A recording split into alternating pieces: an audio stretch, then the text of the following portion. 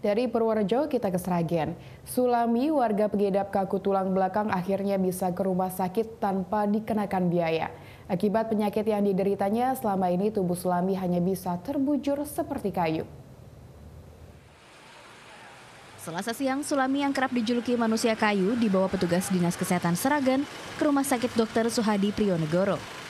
Sulami jalani foto ronsen di ruang instalasi radiologi untuk melengkapi diagnosa akhir.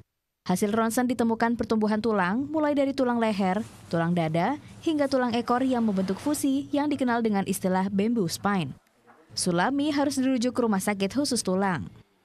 Kami berkesimpulan bahwa untuk saat ini pasien tidak bisa ditangani secara maksimal di rumah sakit kami karena harus dilakukan osteotomi dan osteotomi pun tidak dilakukan pada semua sendi, tapi dikhususkan adalah pada bagian sendi untuk bisa pasien melakukan aktivitas e, berkaitan dengan misalnya makan, minum, ya, aktiviti dari living.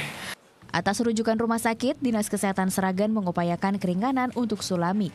Sulami akan diberikan bebas biaya selama menjalani pengobatan di Rumah Sakit Ortopedi Sukoharjo, Jawa Tengah kita siapkan dengan pakai KP Indonesia Sehat, berarti tidak tanpa biaya kan nanti. Terus kemudian nanti kita siapkan juga tim pendampingan di sana.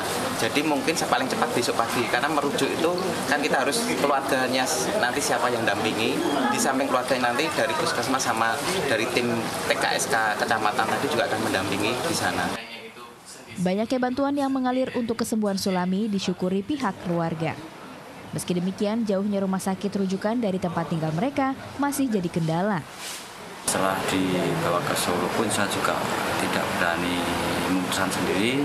Nanti saya pulang dulu, saya nanti konsultasi sama keluarga, sama ibunya dan sama adiknya, dan juga kakaknya juga. Sulami mengidap ankylosing spondylitis atau rematik sistemik yang sebabkan pengidapnya nyeri dan alami kaku tulang belakang. Gejala tersebut sudah dirasakan sejak masih anak-anak. Penyakit langka ini telah merenggut nyawa saudara kembar Sulami beberapa tahun silam.